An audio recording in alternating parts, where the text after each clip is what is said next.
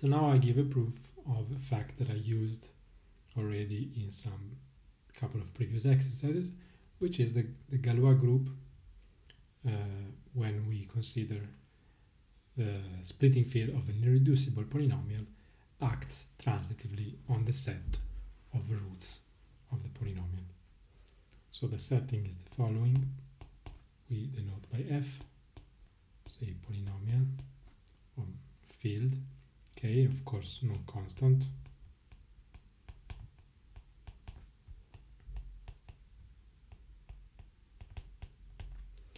and we consider L a splitting field for F.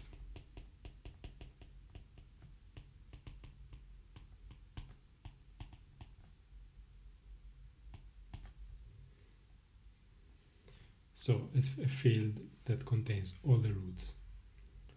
of uh, uh, F. Then what we can prove is that the Galois group G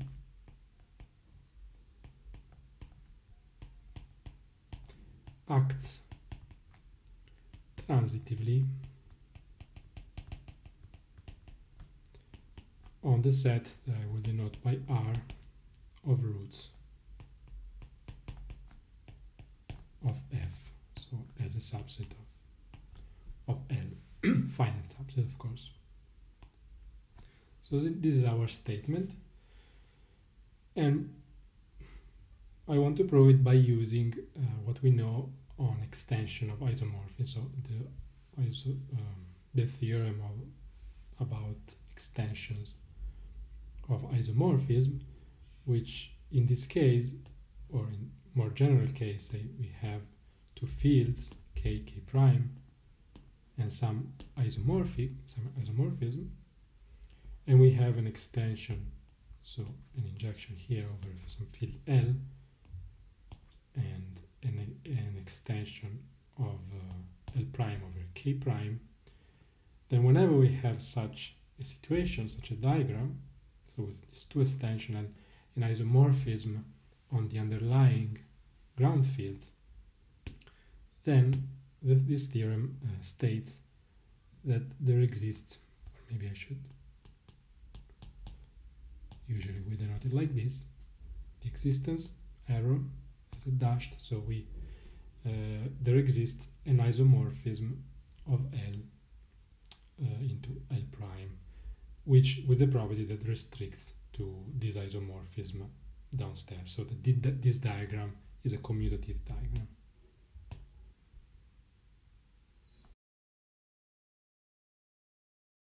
so given this theorem then our statement is very immediate application. We take two roots say alpha and beta, two roots of f, R is the set of roots,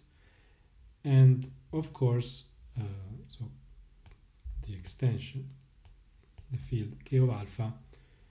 we, we can write it as uh, k of x over the ideal given by f, and the same we can do by k of beta, since are two roots of the same polynomial. And with this polynomial with this uh, isomorphism we have that alpha is sent into beta right that this map would send um, this send will send alpha into beta and restricts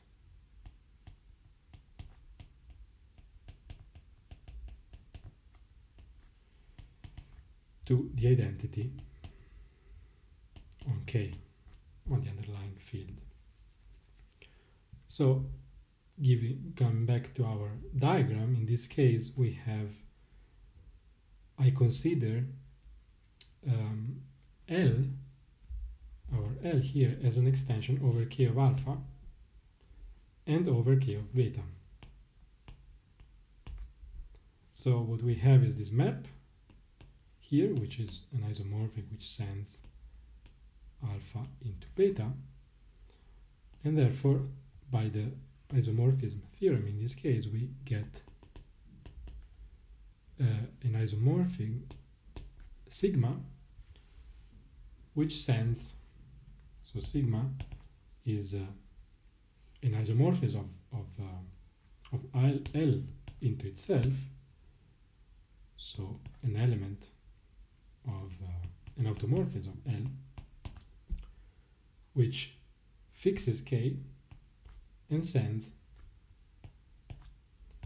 alpha into beta. So this shows that we found an element uh, that realizes the transitive action of the group G as we wanted to prove.